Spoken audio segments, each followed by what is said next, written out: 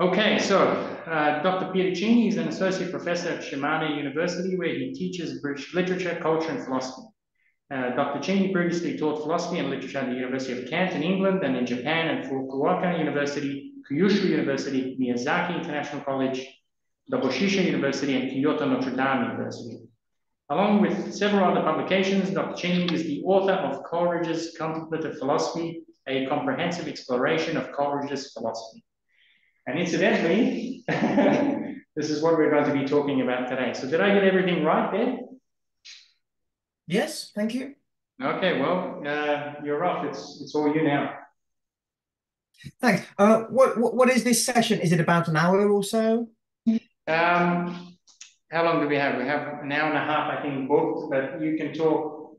I mean, ideally forty-five, sure. And you talk, and then you answer questions for forty-five. That's what we've been doing. Hmm. Sure. So, um, yes. Oh, um, also, do you have the, is this the pro account of Zoom? Because um, the non-pro ones cut out after 40 minutes. This is, this is the pro account, yeah. Good, jolly good. Okay. So I think Emil has given you a handout, which is, um, let me see, chapter uh, six from that book on uh, on the philosophy of, of Samuel Taylor Coleridge. Um, so let me move to the same place in my own my own copy. I sent out an email for everybody. Mm. yeah. Um, and uh, this chapter in the book is um, pretty much exactly halfway through the book. and that halfway position uh, is relevant. And I take um, the subject of this chapter to be the crux.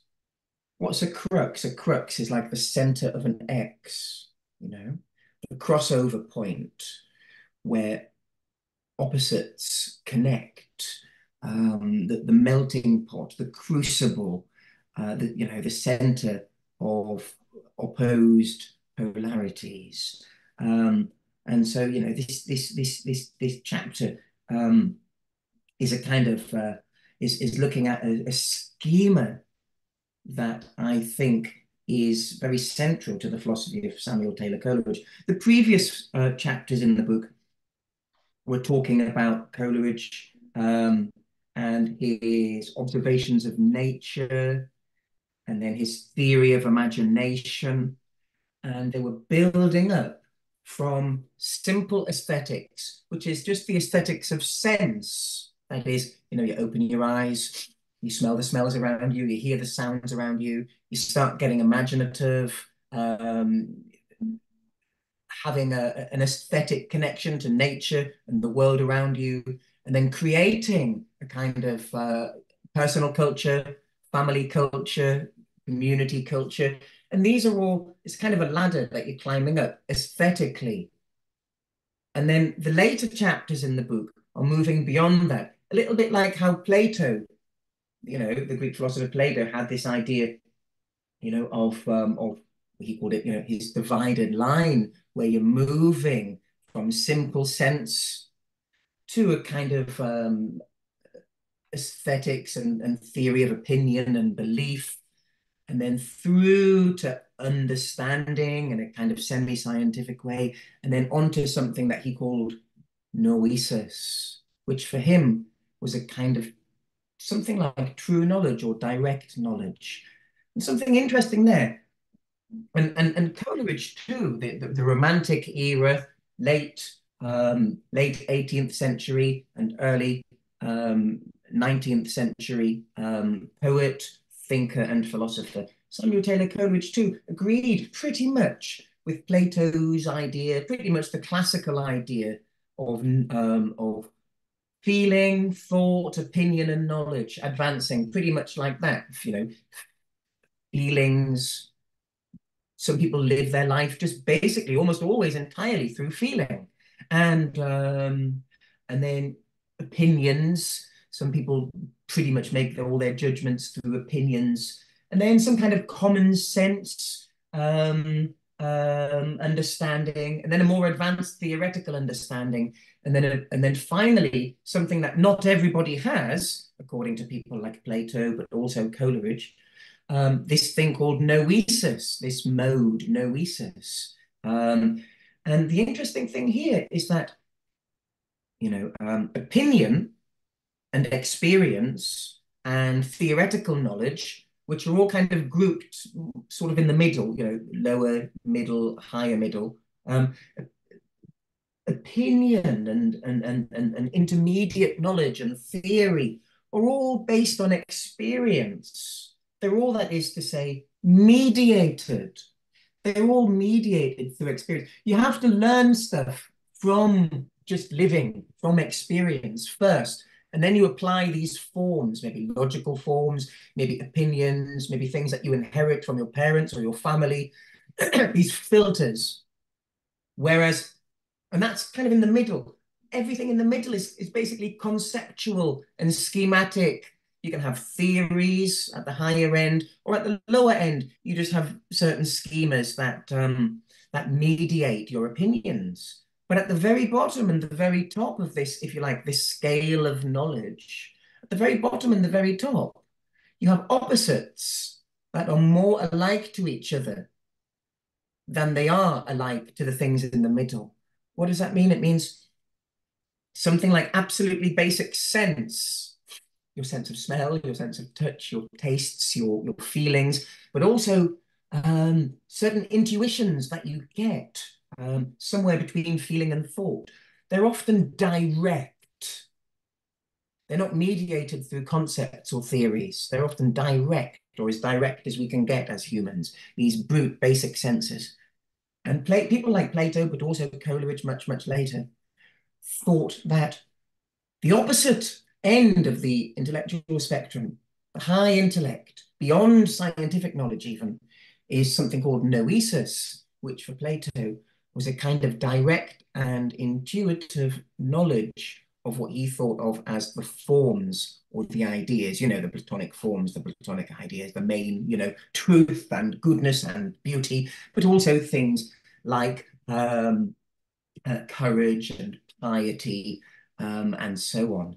Um, but and and and then other thinkers, sometimes in the Renaissance and then later in the Romantic era, added to those things like perhaps the laws of nature are also some kind of archetypal forms that suffuse the universe. And the truths of mathematics, something that Plato and the later Platonists sort of agreed with. Um, there are certain truths which are always true, which have some kind of existence beyond existence. That's a paradox, you know. We it makes us wonder what kind of existence is it? It's not exactly existence like, you know, this pen or this hand or this cup have some kind of concrete existence, but rather they have some being, or maybe even beyond being. They have an essence, you know, um, some kind of hyperousias, something beyond being or beyond essence. But they but well, what are they? You can call them truths if you're struggling to give them a kind of, you know, they're not they're not things, of course. These ideas or forms, they're not concretes. Um, some, you know, sophisticated people might say they're not even existences, uh, because to exist is, is, is to have some kind of manifestation. Um, and these are beyond manifestation. The forms and the ideas are a kind of something like a Pythagorean reality. You know, how might we imagine it? Like reality of ratios and numbers and laws of nature that are the truths and powers and realities behind existence that existence depends upon, you know. Um, and this is what Coleridge is basically, you know, trying trying to get at. So, and this chapter here, which I've called, you know, the energic energetic distinction and Coleridge's two-level theory of mind, that is, I believe, central, and I put it as one of the central chapters in the book because leading up to that, you have a discussion of um, um, the senses and sensation and basic aesthetics, the feeling and the opinion way of getting to know the world and creating culture. And then beyond that, the sort of scientific and poetic and religious and what you might call the higher spiritual sorts of ways. Um, and that crossover point from feeling, the feeling body, the feeling soul, that crosses over into the intellectual mind or spirit, you know. In German, they contrast Seele und Geist, you know, the, the Seele as the sort of uh, the mind of the body. Um, and the Geist or spirit, um, the mind of the spirit, you know. Um, the, the, the, the soul, feeling and sensation is what we have in common, certainly, it seems, with, with, with many animals. Um, whereas things like understanding and conceptuality, probably we don't have that in common with most animals. You know, there are arguments that elephants and dogs, um, um, and you know, maybe even maybe even some insects like bees have some kind of language. Well, it's certainly they have some kind of language, as von Frisch discovered with his discovery of the famous dances of bees. You know, bees can communicate with their beautiful wiggle dance. They wig the, the intensity of their wiggle says how great the nectar is, um, and the duration of the wiggle tells us um, uh, how far away it is, you know, and the uh, uh, angle of it uh, is is actually relative to the uh, light coming from the sun, and that that um, that tells the other bees around them, um, you know, exactly which sort of angle of the compass to, to proceed in. Well, that's that's something amazing. How how much conceptualization is going on there? Well, I would imagine almost none, you know, or very little. But still, there is something um, of an intellectual nature in there. Um, whether or not they're just plugged directly into it and there's not much processing going on, it, it, that, that's probably likely. But still, um, it's this this this this this higher mind um, that is that is that is being mediated. That is that is something that especially makes us human. It's humane knowledge, but also according to thinkers like Coleridge, but also to people like Plato, um, it's something that they would often use very very powerful words to describe. They would say it what relates us to God, or it is what is divine it's the divine possibility or spark in human nature. It's in that sense Promethean, you know, it's something stolen from the gods, or it's something given by the gods, or it's a piece of grace, it's spiritual. And people, you know, um, um, would often, and especially in different strands of Platonism, um, would draw almost naturally to, to, to something religious or at least deeply mysterious and spiritual about the wonders of intellect. Because what the sense, what experience, what empiricism can teach you is, um, is always concrete. It's always about this particular experience and that particular experience. Whereas once you start to get into conceptual understanding, knowledge becomes universal and um, it can be applied everywhere. It's not just about it's not just like suck it and see empiricism where it applies in a very narrow range of, of, of circumstances. Um, there now the concept once you get into the understanding the concepts of necessity the universal concepts of necessity and universality um, and essence and start to come into it and then you start to get laws and then you start to know about the future what must happen if x happens then y must happen no matter where you are and no matter when this is happening um,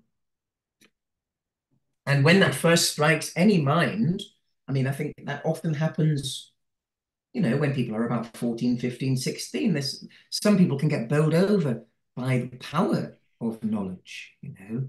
You know, knowledge, knowledge, knowledge is power, but the, the ability to, to, to work out what must be a universal truth, you know, is a, a startling power. Kant, Immanuel Kant remarked on the, the same sort of thing in, in ethics when he said, you know, the, the two things which which absolutely startle and amaze him, fill him with awe and wonder of this, you know, the starry heavens above him and the moral law within him. And the, and the wonderful thing about that is he worked out a categorical imperative, but truths of ethics that must be true, he believed he had proven, that must be true for all rational beings, even beings which aren't alive yet in the future, even beings on different planets. If, if, if they're rational, they must agree with these. Okay, so let's move on with this. Um, so what the, the, the, first section in this, this, this chapter here, the energeia of thought, that's reaching, um, you know, uh, back to people like Aristotle and his understanding of potentiality and energy, um, um, something in the mind which is a, a, a potential to work um, and a potential to know, but also a potential to become. Okay. Um, and uh, Coleridge made an interesting distinction between just in, in one or two remarks, in, in, in just two remarks throughout his, you know, millions of words of text, but he, he made a couple of remarks distinguishing between the energic and the energetic. But it's a nice distinction. It, it, it sort of speaks a volume in itself. Um, the energetic is the lower level and the energic is the higher level. And that's that's sort of an, an, entrance into this that I'm talking about as Coleridge's two-level theory of mind. Like Plato, he has the, the sort of the, the um, lower level existences and the higher level essences, in a way. Um, lower level concretes and physicalities and the higher level forms or laws or ar archetypes. Um, and the, if something is energetic, um, it's full of action. Um, it's stimulating change. It's full of um, you know energy, basically, in, in in the sense that we use it nowadays. Um, somebody, something is energetic. We would say, you know, toddlers and ch young children are very energetic. Yeah, um, full of energy, always busy, busy. But if something is en if something is energetic, it means it's um, for him. It's you can be completely still and energic and, and, and highly energetically charged. You know, you could be thinking some deep thought. Um, you could you could be on the on the cusp of some scientific breakthrough, um, or you could be tackling through some some legal problem.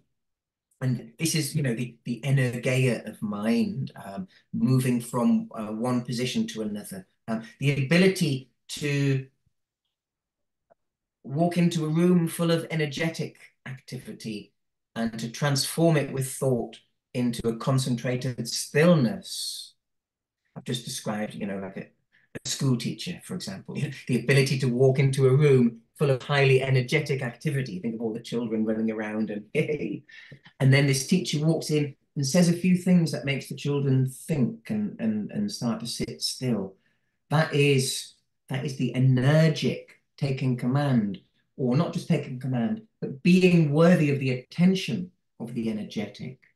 So what is it then? What's going on? It's a kind of ordination. We don't really use that word very much nowadays in English, ordination. It's a traditional meaning is um, when a priest, when a normal, when a, when a regular Joe, when a regular person decides to become a priest, for example, and they become ordained. But actually, ordination is not just for, for the priesthood. In, uh, in, in, in, in traditional Christianity, if somebody wants to get married, well, then they become ordained as a father or, uh, sorry, as a, as, a, as, a, as, a, as a husband or as a wife. That's an ordination. Um, in a sense, then it's following a vocation. So whatever job you, you, you take, um, if, and if you take it seriously, you're in a sense ordained. But what is it meaning? It means setting into order and achieving, re receiving a role, achieving a certain position with responsibilities, and that requires a setting into order, setting the chaos, as it were, around you into order. And that becomes your task. And what Coleridge recognized is the necessity and the power of the ordination of thought. Everybody has, as it were, the lower mind. Um, he, he he drew on on on on, on you know the, the, phrase in, in the in the in the Christian gospel, you know, the phronema sarkos, which means the mind of the body. What's the mind of the body? It's, you know, desire and lust, but also, you know, the need to eat, the need to mate, you know, the need for shelter, all of these things that we share in common with the animals.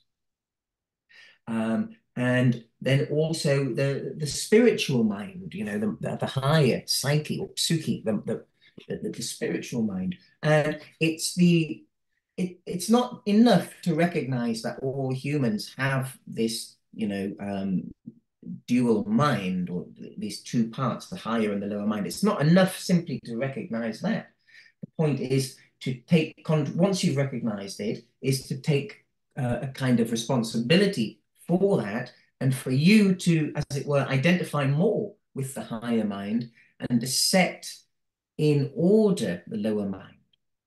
A lot of people hear this kind of talk and they think, oh, this is just straightforward hierarchical thinking, you know, um, the, the, the, the, the intellectual, slightly snobbish and elitist spirit um, is denigrating or looking down upon the body and the instinct, but actually these are the vital things. These are full of vitality. That's what somebody like Friedrich Nietzsche might say, for example. Don't suppress the body with with with this this pretense at spirit, you know. Um, but it's not.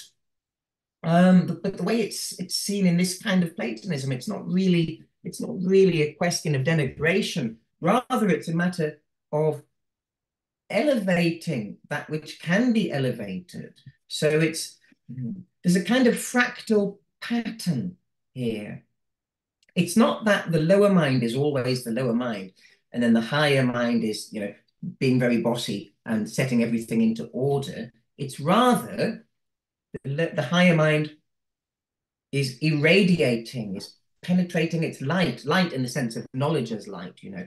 Light is irradiating the instincts and the bodily and animal ways of knowing things, this spiritual way, or cultural and spiritual and geistlich, you know, way of knowing, is penetrating into, as it were, coloring the fibers of the lower level um, and uh, giving them um, a higher realized purpose um, by uh, finding some kind of telos or aim that is more unified than just the scattered kinds of desires. You know, one one desire goes off in search of uh, uh, a shelter, another goes off in search of immediate gratification through food, another through sex or some other kind of stimulation, um, another through you know other, other kinds of pleasure or fun or entertainment.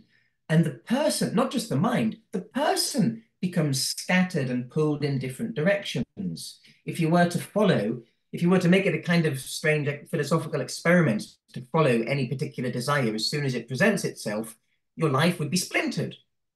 Um, rather, it's a case of those all being brought into order, all pulling in, in the same direction, in in in and those directions being given to it by the um, the, the, the, the the roles and the ideas, the forms, um, which are, are, as it were, the, the light shining down into those darker desires of the lower mind, the light shining from that higher mind.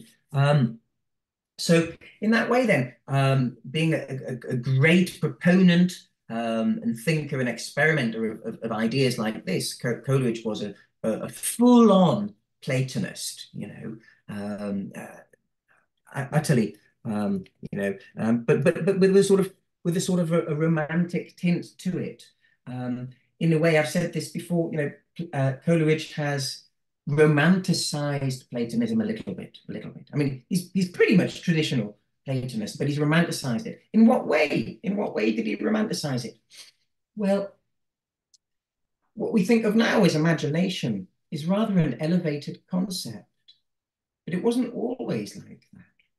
Um, in, in Plato's day, fantasia was uh, related to, you know, what we might think of as fantasy. Well, it's pretty much the same word. Fantasy, um, almost in a Freudian sense. Um, it's the, the, the desires, um, the animal body, the animal mind, uh, having their way with with with with the mind, with with the powers available to the mind, and pulling the mind um, in in the direction of uh, instincts and, um, and, and and and human and animal you know desires which are present here.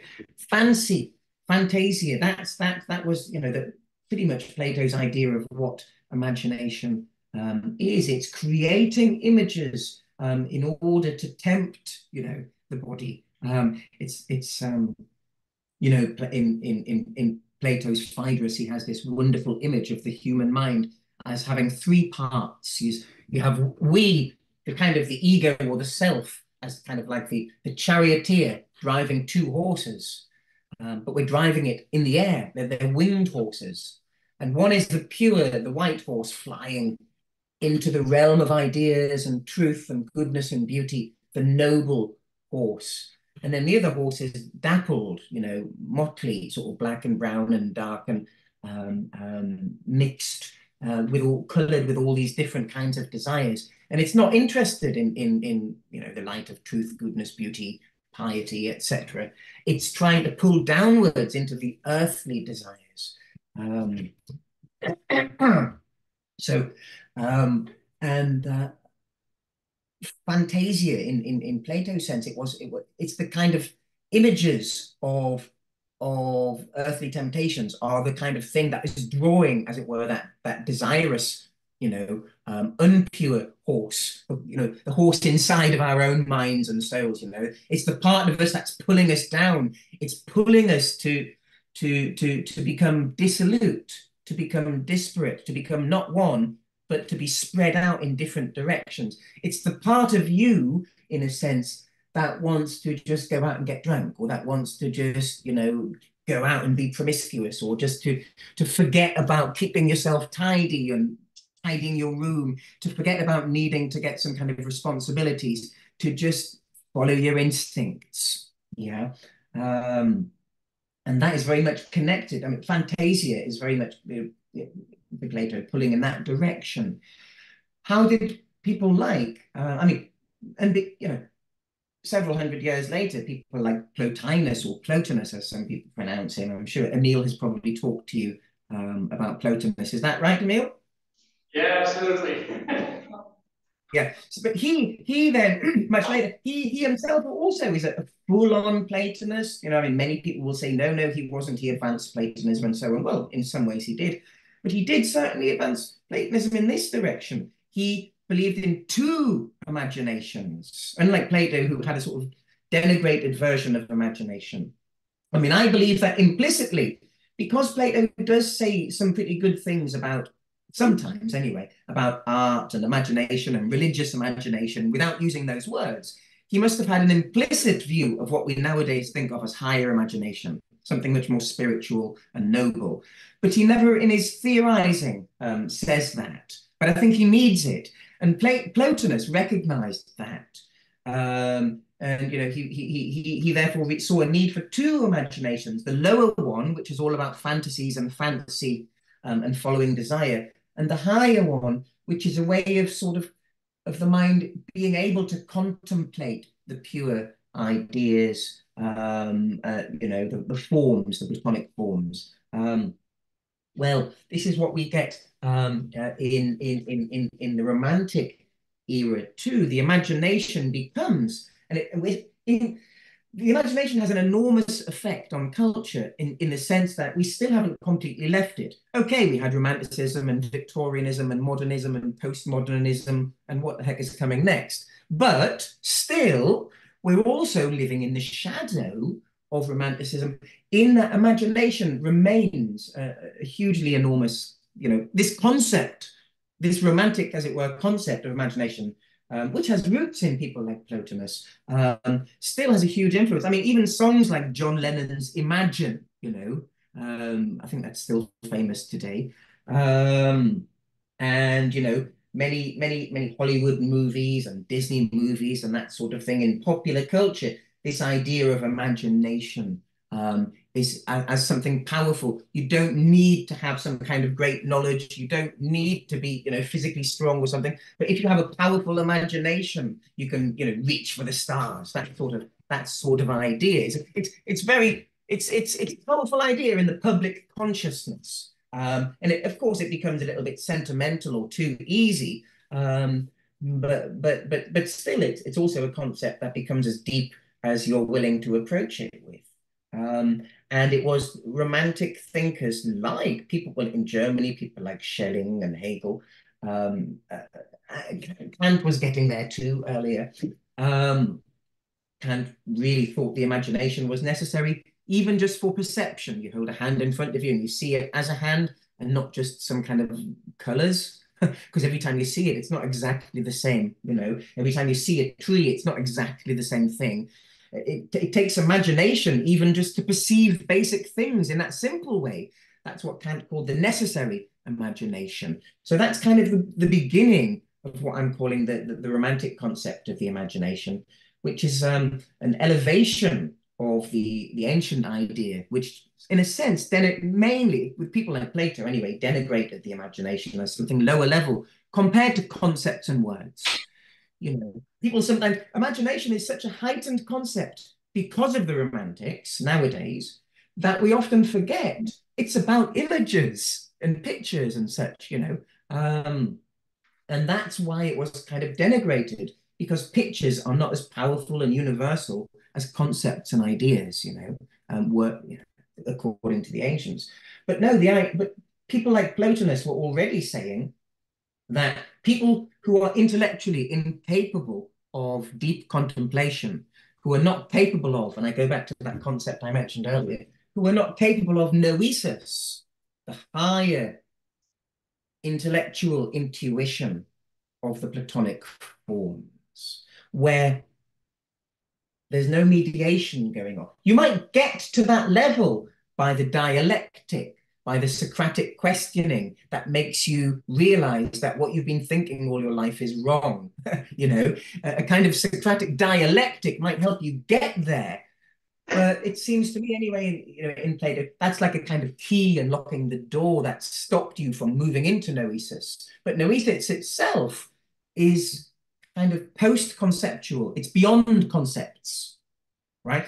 Ordinary everyday thinking, like we're doing in this class right now, or this, this talk right now, is conceptual. Everything that you're doing at school and at university and a lot of what you're doing at work is conceptual, mediating things with words and concepts and theories and schemata, you know. Um, but direct intuitions like, you know, I like this tea, I like this coffee, I like this pizza, you know, nobody can teach you that you like it or you don't like it. You have to put it in your mouth and taste it. You know, it's direct. You know, uh, things like pleasure and such are direct intuitions, not mediated. Right? Not to know it. To know, I don't know uh, how to do an activity. To know a piece of science, to know a theory involves conceptual mediation.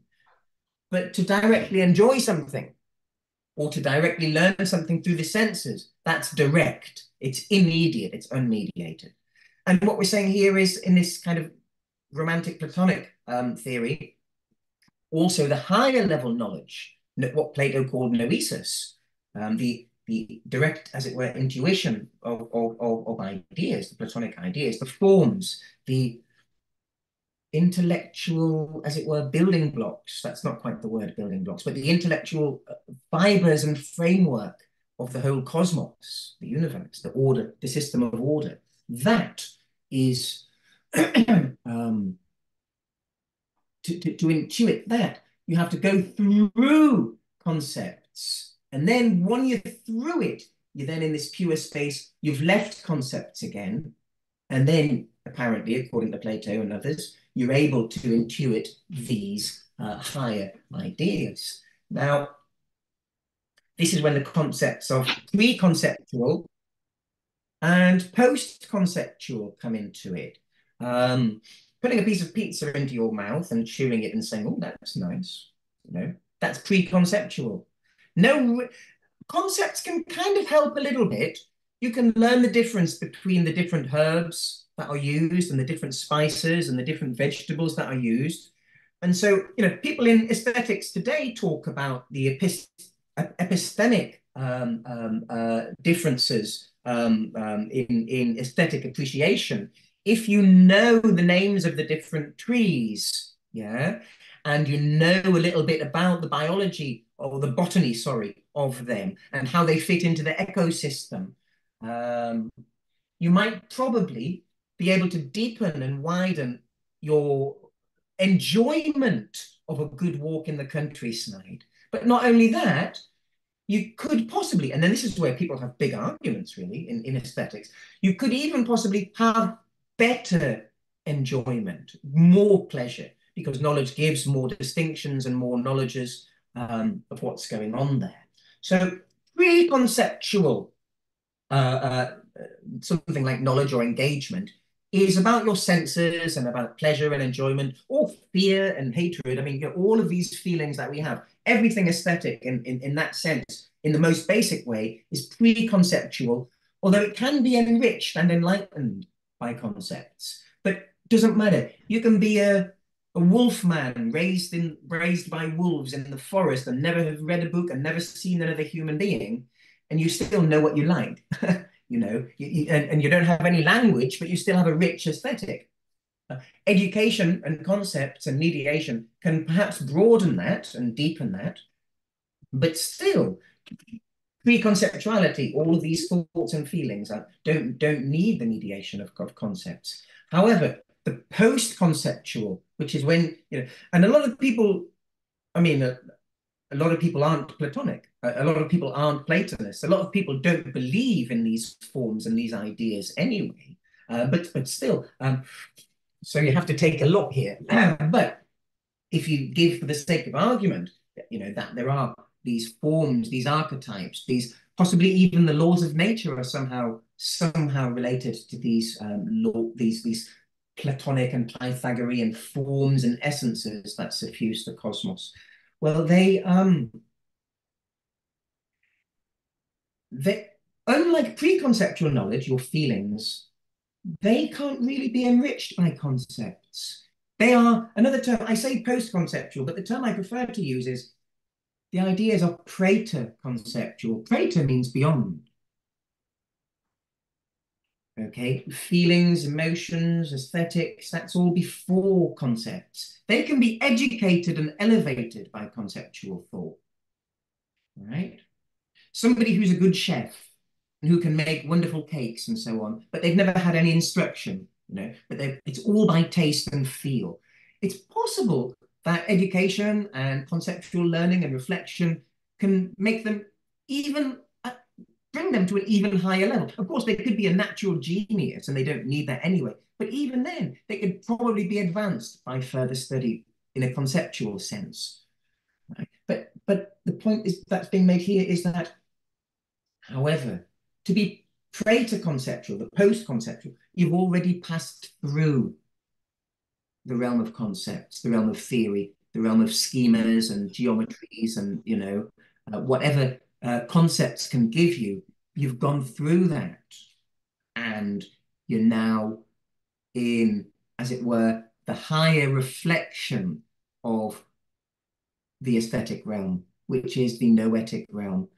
Um, and I think that the romantic Platonists, of whom uh, Coleridge is a wonderful representative, the romantic Platonists um, were onto that. That's one of their, as it were, secrets. You know, that's something that they tapped into that the, the noetic, the, the Platonic forms, the ideas, all of this rich heritage, which had been, because in a sense, since people like Galileo and Descartes, uh, a sort of more Aristotelian uh, history of philosophy and science kind of, you know, became uh, regnant, became more powerful, um, uh, and then and then empiricism. You know, the world became much more, especially the Western world, became much more empiricist, mechanist, you know, believing only what can be seen and touched and experimented with. And um, we had a kind of a logic of quantity. Mathematics became a, a, extremely important, as it is in Plato too, but in a different way. Um, what what can be measured um, um, is is where our knowledge um, um, will, will will will will will will um, accelerate from. You know, um, and that's what happened. The scientific revolution did accelerate human knowledge. Human knowledge of what is true just basically shot up, and what we can do technologically just shot up post Galileo, post Descartes, post you know Newton, and so on. Um, but what was left behind? That's the logic of quantity. What was left behind was the logic of quality. And so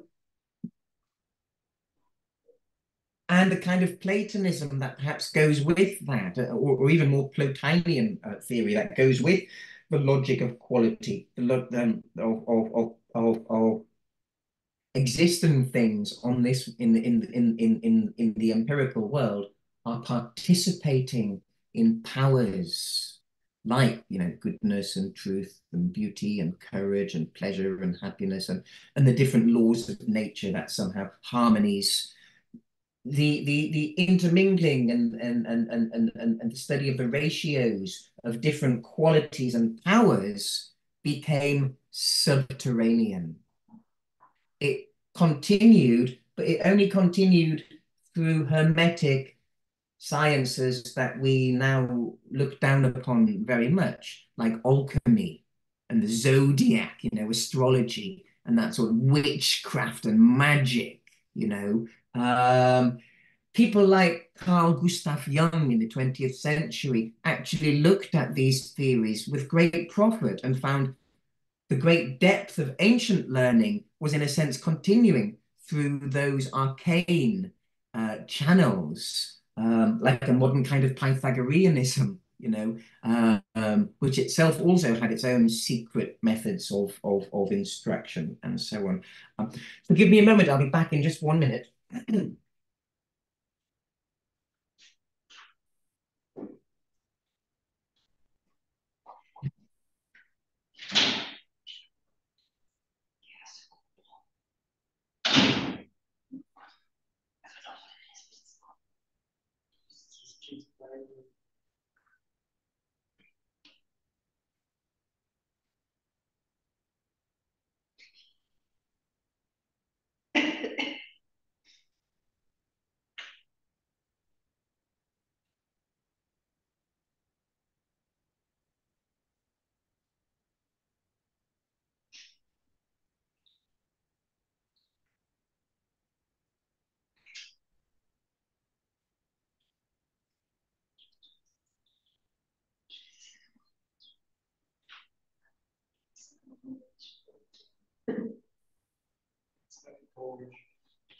Just a moment.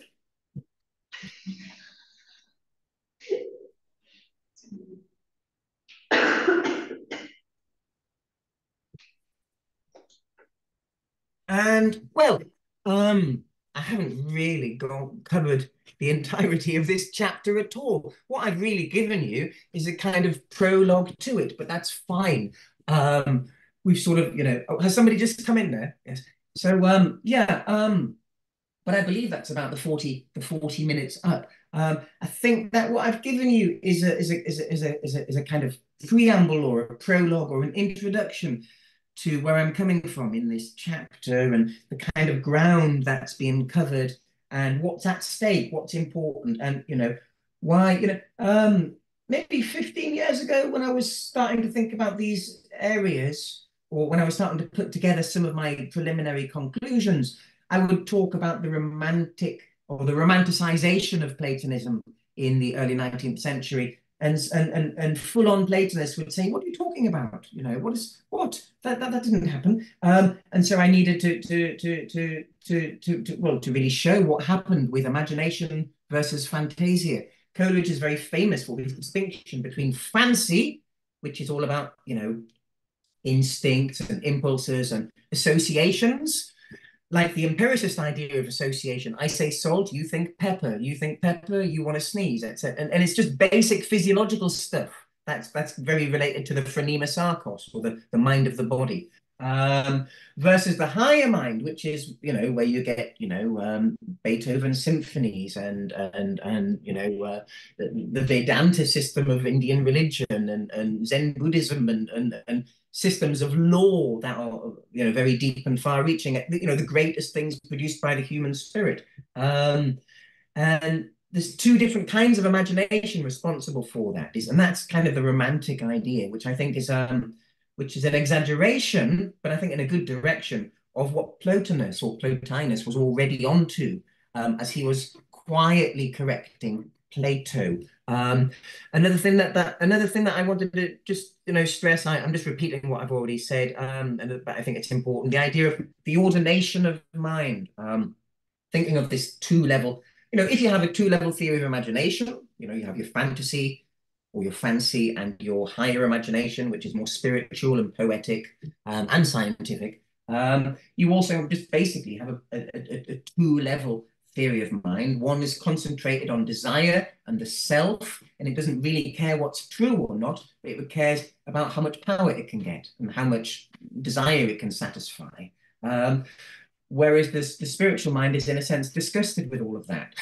um, but instead of putting itself off, like some some spiritual um, thinkers decide to become ascetic or to, to cut off the body, like yogis sitting for 10 years in a cave cutting off the body and just growing a beard and thinking high thoughts.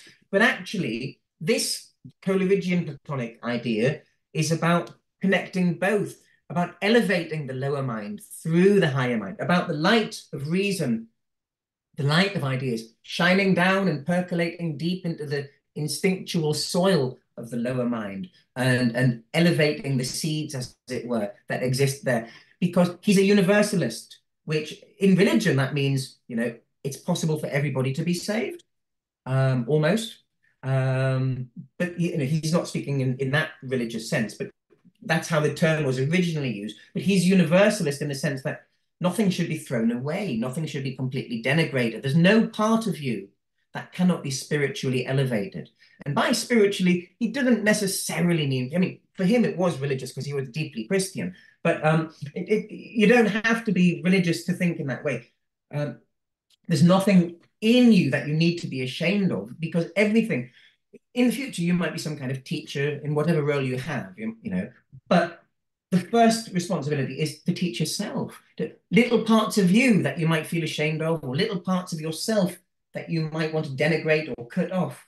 No, um, this Plato come Coleridgean system is rather a case of that is the first thing that you must begin reforming, elevating, instructing. You are in charge of all of this existence that you're walking around in, and you can, you must because you can, as, as Kant famously said, you can um, educate that because you have been ordained um, uh, uh, the captain of the ship, which is your body and your soul and your mind, you know. Um, and you have the powers and tools to be that good captain. You can ordain every single part of your multifaceted being. Um, and any one project that you take, you can kind of use all of you to get there, even the parts which you thought were negative or something to be denigrated or cast aside. Actually, there's probably some kind of way that can be put to the good end too. Um, that's the kind of optimism um, um, in this kind of Platonism. And I think that's it. I've given you something very practical, I think, really, although it's got these high-minded Platonic ideas in there. But I think it's kind of like a sort of, uh, it's almost like some kind of Coleridgean or Platonic self-help kind of idea, really, I think, the way that I've expressed it. Um, so there we are. I'll stop there. And I want to just branch this out into a chat either observations from your own lives or ideas or criticisms of this idea or further questions or any, any way you want to go. Um, let's go there. Emil, do you just want to say something first as a sort of interim between, you know, talk and, and opening up the seminar idea or? Yeah, you, you, you can hear me clearly, right? Hmm, a little bit. Where is the mic? No, hang on. No, it's not bad ever so slightly echoey, but it's not bad really. Okay, well, what? That's great. That's fab. Mm. No, no, it's not. Off. It's not. Off. It looks on. Um, you should be able to hear me clearly, right? Mm, mm, mm. Okay. All right. Um, do you guys have any questions? You have a question? Yeah. Okay. Well, how about we do it this way? Anyone wants a question can come up here and speak right in front of the microphone. Okay. Does the camera have to be pointing at me or no? No. Okay. Hi, I don't know your name. Hi, I'm Harley. Yeah, he snuck in. Harley. Harley, yeah. Uh, sorry, I, I Harley. was I was a bit late. Uh, yeah, Good I day. have, I have a very basic question, kind of ashamed of answering, uh, of asking it, but still. Uh, can you please give us an example of where exactly there is a separation between a fancy and uh, imagination, basically the idea of desires that are basic and desires that are noble? Because to my understanding, it all kind of sport goes down from even the fanciest idea, the abstract and the creative, it kind of goes to a downward spiral based to the basic ones. Even the idea, for example, of aesthetics, they still value purity. What is purity? Is the idea of calmness, of uh, progression. It's immediate desire. It's apparent. To me, it seems like every fancy desire, fancy idea, even artistic purposes go down to basic desires in a way. Uh, where exactly does the separation yeah. come from? Right. Okay, that's a good question. I mean, um, that sounds like I mean, so somebody like Nietzsche, for example, you know, as as as it was just mentioned earlier, would say the opposite of, of, of the kind of answer that Coleridge or I would, or, or Plato would kind of give you, and it would be something like, yes, it's all will to power, and it all goes down. However deep you you you penetrate, you just get you know more deeply entrenched. Uh, you, you just keep pulling up this will to power. Um, right. The, the, the Coleridgean reply, however, um, to that is, in a sense, that's true of fancy or fantasy. That is will to power of the individual organism. By a kind of narcissism, by a kind of narcissism, the individual self might also work for the good of the family or the good of the community or the good of the nation. Usually not for the good of the world, though. It's, it's always me and my group. Um, and um, the big distinction is that the desires of uh, fantasy uh, and fancy are um, basically selfish. That is, I mean, that's a negative word, but are self-oriented. And it doesn't matter whether my actions are true or false. It doesn't whether doesn't matter whether what I say is true or false in pursuit of those desires. The important thing is the acquisition of power to satisfy those desires. So that in my own dream, I might imagine or rather fantasize a certain scenario that gives me some kind of satisfaction, even though that event never happened and it probably would never happen but also um, in reality, I could, you know, conjure up some kind of art that is a piece of fantasy that satisfies the uh, fancy of many thousands or millions of people. But it's not high art because it doesn't touch the higher imagination. I'll come, I'll come to that, Carly. But um, I mean, I often give the example of romantic comedy. Do you do you guys know things like Love Actually? and Notting Hill, and you know those romantic and Bridget Jones's Diary. Yeah, I see them as works of low fantasy. They're fun. They're cute. Pretty Woman. I mean, you know, Julia Roberts becomes a prostitute in order to go to bed with a with a millionaire. that's that's a weird thing to be a cutesy kind of uh, uh, Hollywood fantasy, but still, um, that's that's that's that's what it's basically catering to selfish solicitude, selfish desires, um, the care of the self, the promotion of the self. And um, in these kinds of movies, you know, it's like the kind of job of these actresses or the kind of job portrayed in these movies like Love Actually and Pretty Woman. It's, you know, it, it, it's, for example, Bridget Jones, you know, she's working for um, uh, a magazine or a, newspaper. That's fairly high class. It's kind of like she's an office worker, like your average woman in, in, in the world, but she's a little bit classier and that sort of thing. And then she ends up, you know, falling in love with two or three different guys, and they're all gorgeous in their own wonderful ways. And basically, any problem she has is all quite cutesy, and uh, there's nothing seriously wrong in her world. And it's a fantasy. People go into the movie theater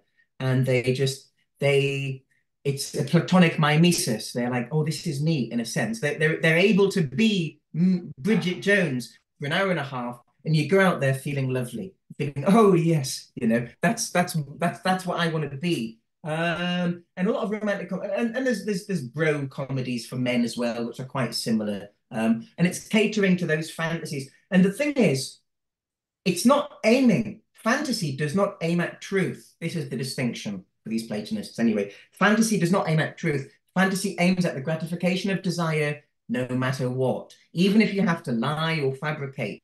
And, and fancy also, as, as has been noted by many people, including in Coleridge, fancy just brings together disparate elements. It's not a wonderful kind of creation. It's just, for example, Pegasus is getting a horse and it's sticking wings on it, or, you know, making another kind of chimeras. um, or the you know, um, it's just taking bits and pieces and gluing them together, um, and that'll satisfy your kind of fantasy. Uh, Imagination is different. Imagination is what leads to high art. Imagination aims at reality in the sense of those Platonic ideas and powers.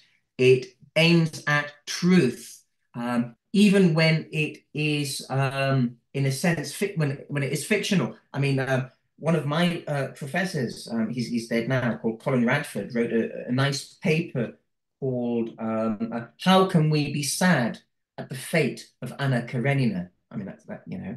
Um, and Anna Karenina, you know, walks in front of a train and kills herself. Um, and every time we think about it or read about it, we might even want to weep. But how can we do that as philosophers when we know that Anna Karenina never even lived? She was never even born. She never, you know, met these men. She never had this husband. She never had that affair. She, you know, none of them went to Paris. None of none of this none of this happened. Um, how can we? How how can we? How can we wince and, and cower when just before Mercutio is killed? You know, in Romeo and Juliet, he's Romeo's great friend.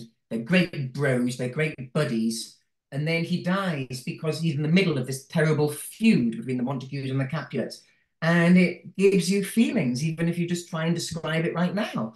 And yet, no Montague, nor Capulet, nor no Romeo, nor no Juliet ever existed. What, what, why? Why? Well, one answer to that, I mean, this is called the paradox of fiction, and many philosophers have argued over this, but my answer to that is that it's true because it's it's it's it's it's aiming for the truth of ideas. It's aiming for the truth of no, noble causes, um, uh, for truth for truth itself in the human essence um, or the human situation. Um, art, higher art, employs imagination to aim at truth.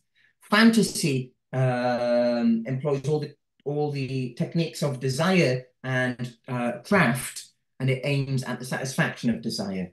Um, so I don't know whether or not you agree with any of that or whether you think there's any potential in there, Carly, but that's the sort of, I think, something like the modern Platonist answer to that. Do, do, you have a comeback there? Uh, can, I, can I keep going? Is anyone else? Okay, so I've heard two very different things. First of all, is the idea that higher imagination goes to an idea of outward thinking of basically coming from the self to the collective. Uh, the idea of, is that first correct? Uh, so you consider. I don't, I don't think so. I don't think so. No, um, I think this movement from the self to the collective is more characteristic of fantasy. Fantasy can be educated to care, to keep caring about itself, but to become broader so that one's own family, one's own community, one's own workplace, maybe even one's own country is represented. But it's still the narcissism of self. You know, if I love my country and I'm being a scoundrel for my country, really, I'm just being narcissistic. Okay, really. so it's an extension of my ego. Whereas for the imagination, for the higher imagination, in this very rarefied theory, um, there is no the self doesn't even really come into play. It's just truth. And if the self is completely out of the picture, so much the better. And I oh. think, you know, some scientists like Newton and Einstein and so on have even have described something similar, and mathematicians, you know, have described something similar about the specific kind of imagination they've needed to reach their discoveries, etc. Where the self, in a way, is kind of just an observer, but it's not something that is catered to. Whereas fantasy, the self, and then a bit later, some larger community is catered to, but there's no catering going on to, to individuals or groups in imagination. You're not trying to please a crowd. Um, that's why you know artists can can art a true artist who uses the higher imagination will often be proud that the public hated his work on the first reception. Whereas somebody who writes fantasy, well, they've simply failed because their job is to please the public. Mm -hmm. Okay, then we'll move into the second idea is the fact that this idea of truth, because here the mm -hmm here going to the abstract seems a bit closer to my original question and the fact that what we consider truth particularly in art at least is immediately and i, I wish I, I wish i could see you by the way. I can't, can't i can just i can do this. I don't see why i can she left i was just gonna oh. sometimes i can't hear you too. It's nice to see your lips move. Hi Carly. yes. Uh so Truth. Oh my God, you're going to ask me a question about truth. Oh, no, no, no, I'm joking. Go on. Uh, oh. Yeah. The idea of at least truth in art is at least partially or almost always immediately tied to idea of desire. If we go to such noble high ideas like betrayal, love, uh, society, mm. uh, generosity, and all that sort of thing, they are yeah immediately tied to an idea of phenomenological idea behind them of the idea of love is immediately something that attributes to desire. Generosity is something that attributes to our social qualities which attributes to uh, our um, standing in society and acceptance. It's something that attributes to desire whenever we go. Negative qualities like betrayal are also like immediately juxtaposed to them. Uh, so hmm. here the idea of truth and this abstract conceptualization goes deeper into like further yeah.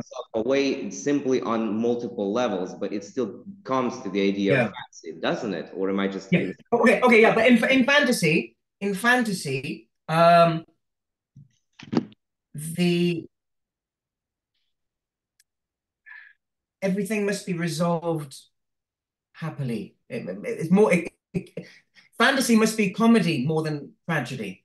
Definitely, yes. Um, there, there is a, there's a, an occasional there's an occasional kind of fantasy where, for example, the heroine, the beautiful lady, you know, is allowed to die, um, but only if that brings everybody to a flood of kind of uh, mimetic, you know, self-loving tears. You know how how glorious and wonderful she was. Um, but um, the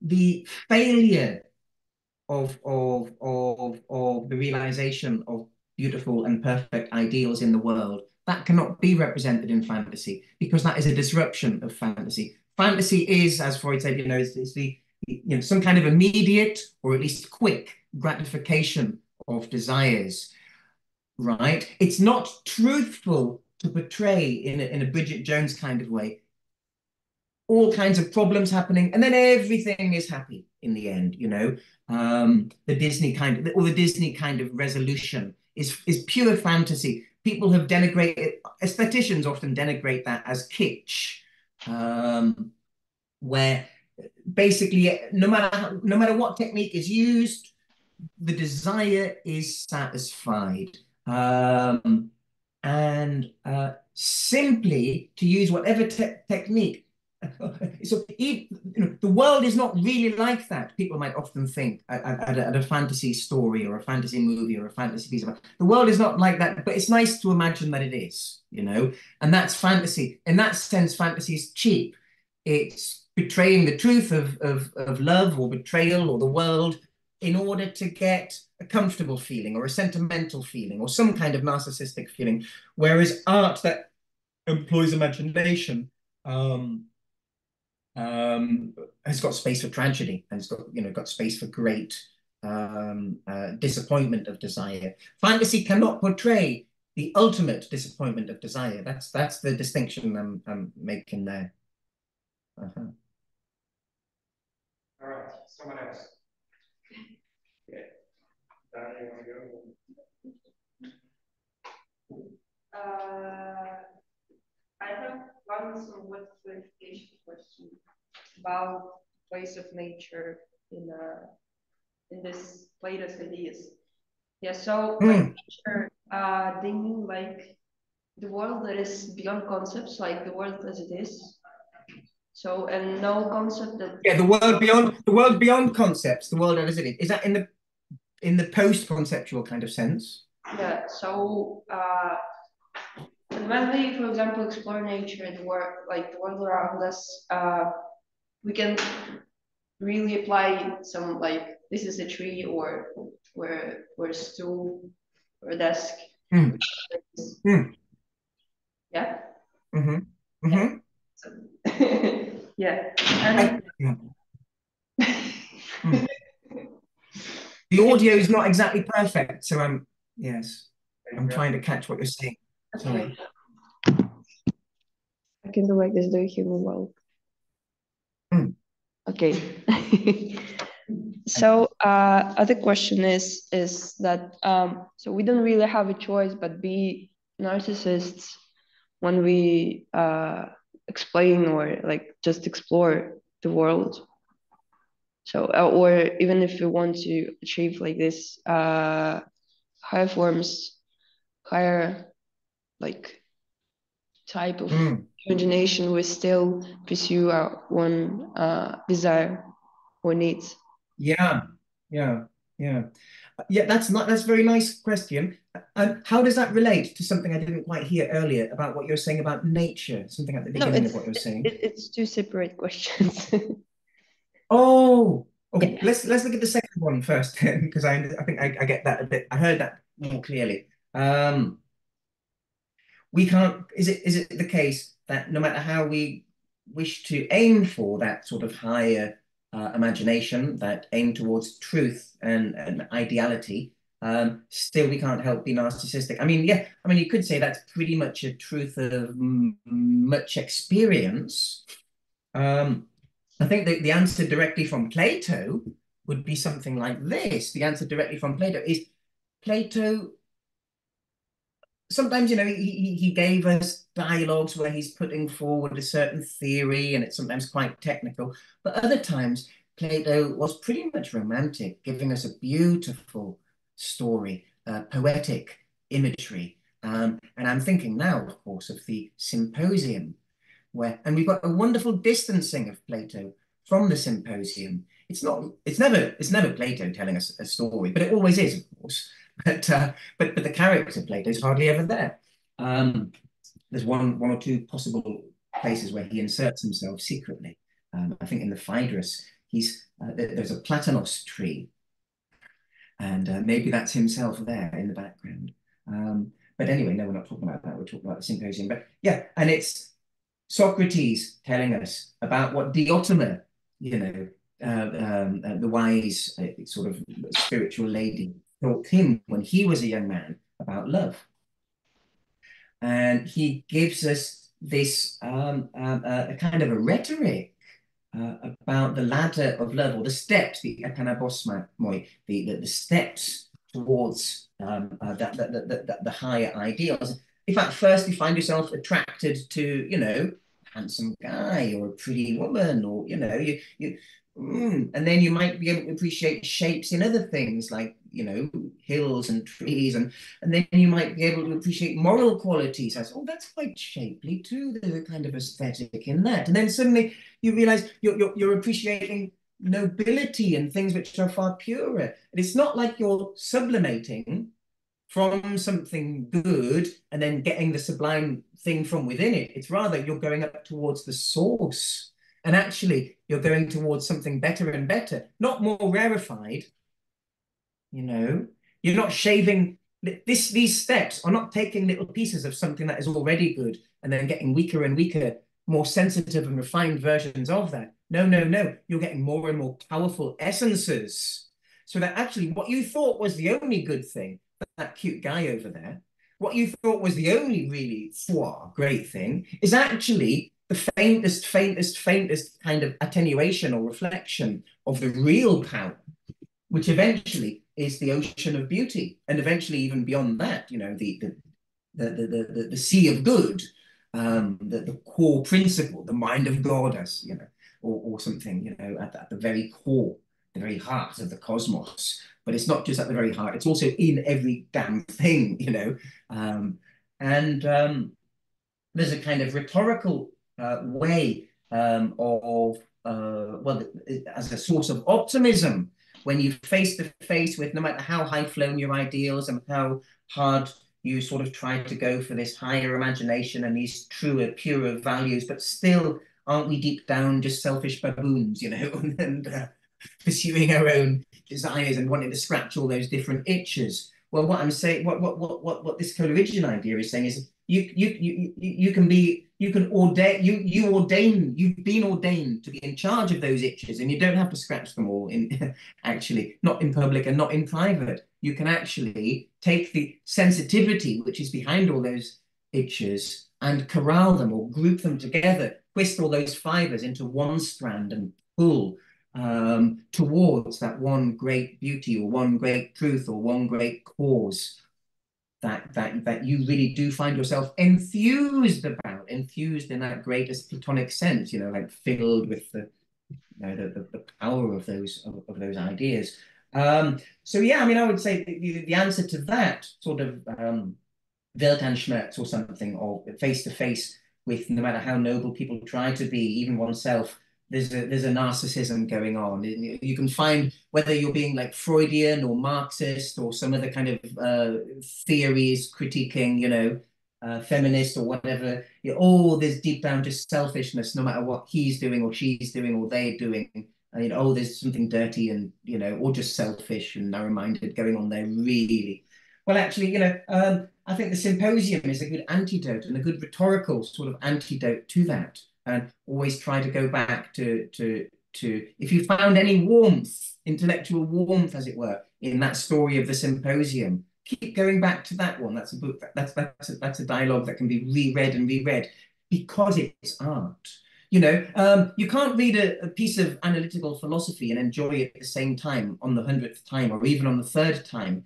But a piece of music, isn't it weird? You can listen to it a million times. Um, um, Kierkegaard said the same sort of thing about uh, repetition, of course, you know, uh, bread, your daily, you know, give us this day our daily bread. Well, why is it we never get sick of daily bread or daily rice or daily water? I just, I had to take a break a little bit earlier and get some water I gulped it down and sometimes water is just so it just hits all the spots and it's just so and yet there's nothing terribly special about it and yet of course there is um it's these daily things. And it, again, there's a purity in, in a work of art, which is also intellectually refined, like the Symposium and like the Phaedrus and, and like certain parts of the Republic, you know. I would say the laws is, is, is rather boring by Plato in comparison, you know, or, but um, there are something like the Symposium. It's it's it's it's it's it's it's it's, it's a work of art because it's it, it's not a discovery or an analysis of certain concepts or theories. It's an expression of a power or an expression of an idea. The symposium is an expression of the ideas of love and of the idea of the higher imagination. He never mentions it like this. You see, I said earlier, I think in a sense, Plato has to believe in the higher imagination, even though in his own spoken theories, he actually denigrates the imagination. But that's because he never quite had the concept of the higher imagination. But he does have the concept of being enthused by the gods or being inspired by love um, and that sort of thing. And it's not as great as philosophy because philosophy is something that you can control, whereas being enthused by the gods or being enthused by love is chance. Doesn't happen to everything. That lightning doesn't strike everyone. But you can, like a bodybuilder, is in charge of building up her own muscles. You know, a philosopher is in charge, can be in charge of building up their own um, noesis, as it were, of, of, of the ideas. So, I mean, uh, I've waffled on a bit too much there. I've talked a bit too much, but basically my answer is yeah. I think the answer to to what you said there about um, narcissism and, and regret and, and sadness at uh, human failings uh, is to be found in an enthusiastic reading of the symposium. Mm -hmm. yeah. What do you reckon? Yeah, so we should nourish our own desires as much as like this highest higher communal desires because they're still I mean I think the wonderful the wonderful thing about Platonism is the, the, and this relates to what Carly was saying. I'm sorry, I will let you finish, but it's that it, you you're using the word desires there, but actually it's um at a certain crux point, it's not desires anymore. It's seeing into truth, and oneself drops out of the picture. And, in a, and then after a certain way on the journey, doesn't even matter whether you live or die in a sense, but that the truth be, you know, fulfilled and, you know, realized, and that certain virtues be fulfilled and uh, made concrete, made actual. And then the language of desire, even though one might still be using it, is actually changed in what it means, or it even just drops out the picture altogether. Sorry, let continue. Oh, it's okay. That's what I was what I was talking about. Yeah. Ah. Yeah. Oh, sorry. I should have let you go. Yeah. Bad teacher there. yeah, it's fine. I don't really have questions. And, and what was your first thing about nature? About no, no. I just wanted to clarify what they mean and you meant by nature. What is my nature in this realms of ideas? Yeah, yeah, yeah, yeah. Well, in in Coleridge's um, uh, because he was religious, of course, and Christian, he had a kind of, you know, theology which framed this kind of theory. Often when I'm talking about this theory, I'm saying it doesn't matter whether you're atheistic or theistic because this makes sense in its own terms. But Coleridge himself framed it religiously, and that, you know, you've got the conceptual middle, and beyond that, you've got the imagination, and the imagination has the power to sort of propel us like a rocket, as it were, out of the atmosphere and into the space or the cosmos of the pure forms and ideas. And then on the opposite version of that, you've got the conceptual middle, and then below that you have the fantasy, the lower level of imagination. And then below that, you have the lower level correspondent of the realm of ideas. And what's that for both Plato and for Coleridge? It's nature. And that's, as it were, the earth. Now, um, for, for, for, for a typical empiricist scientist, um, that is the source of everything, that nature. Where, whereas it's, it's, it, there's a different idea of nature. In a sense, it's like um, um, um, an attenuation of the ideas, you know. Um, but yeah, uh, nature is, as it were, the soil out of which fantasy grows. Another way of putting it is, okay, you've got the middle finger there, you've got, and that's conceptual middle. You've got your thumb here, that's um, that's the, the Platonic ideas. You got your little finger here, that's um, that's that's your sense, your sensuality. Okay, right? It, it's a little bit like Kant's. It's a little bit like Kant's reason, understanding, and sense too, or receptivity. You know, with your body. You know, your sensations. Your sensations. That's intuitively. That's directly intuitive. You see something red. You see something blue. You smell something sweet. You smell something dirty that's sensation and it's direct and it's intuition directly. Platonic ideas, in a sense, we intuit them directly too. We might need a bit of training to get there, or we might need a bit of unselfing or unlearning or unknowing to get there, you know, but that's also direct and intuitive. The difference is, of course, oh, oh, oh, by the way, this intuition, imagine something disgusting smell. I'm sorry to make you imagine that, but imagine some disgusting smell. In a sense, you become a bit disgusting when you smell something disgusting, don't you? It's like, oh, my head's full of, oh, I can't even say the word. Or something pretty, some nice perfume. And you yourself become a little bit too.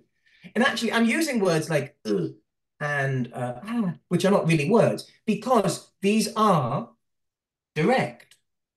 They're not really, in a sense, they're kind of ineffable. The taste of chocolate is kind of ineffable. You can do your best. Or the color red is kind of ineffable. You know, you can only really use those words to people who've had those sensations. And the same thing with the Platonic ideas, right?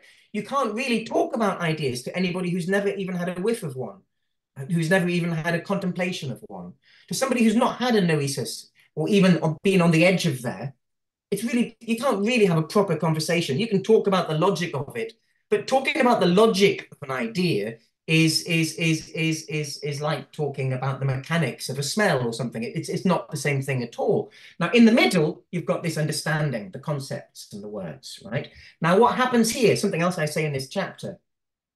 It's not very good. Well, you know, you've got my fingers are not very good. But okay, you've got the higher ideas and you've got the lower. Oh, there you go the higher, the sort of heaven of ideas and, and the rootedness of sense. And in the middle, mediating, you have the mediality of concepts and theories, right?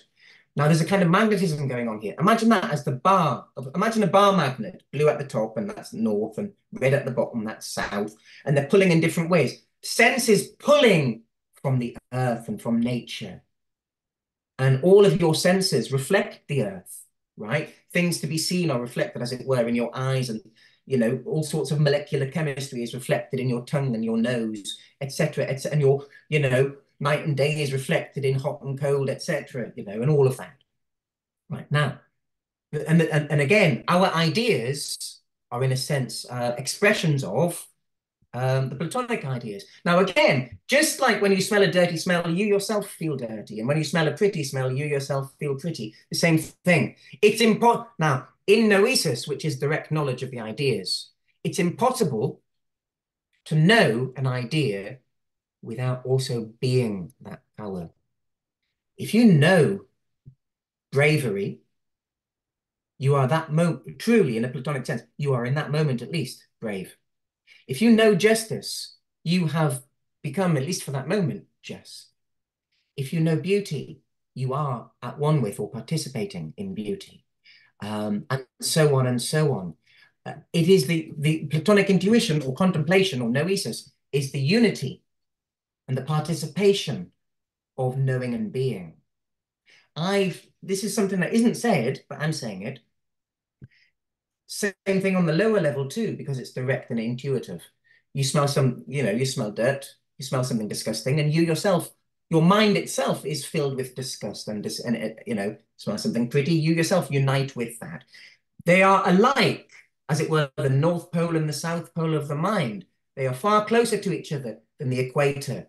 Antarctica and the Arctic or Siberia are far nearer to each other in feeling than they are to somewhere like Mali. Is Mali on the equator? I don't know. Somewhere in Africa that's in the equator, right? They look different, they feel different. But actually, you know, the North Pole is closer to the equator than it is to the South Pole, right? But the two poles are, have far more in common than they do to the conceptual middle. In the same way, Platonic noesis is direct and intuitive, and it's the union of being and knowing. And so is sensation too. It's in a way, in a different way, it's also the union of being and knowing, and it's a direct intuition. Whereas learning in universities and schools and colleges and through books and with words and with your numbers and with your schematisms and your diagrams and all of those conceptual middles is very good and very powerful but it um, it's nothing like these two because it's non-intuitive. There is no intuition in the middle. It needs content. These two are nothing but content in a way, you know, although Plato calls them forms, but, you know, um, it's, it's a direct intuition. Now, the, this is the kind of the thing I, I said elsewhere in the chapter. What happens is from the top of the magnet and the bottom of the magnet, something human arises that oscillates. Beep, beep,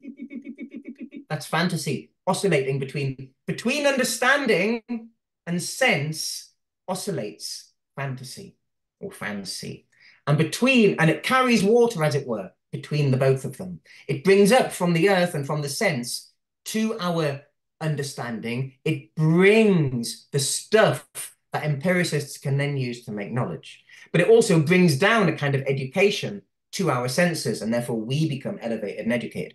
But also to something oscillating between the Platonic forms and the lower understanding.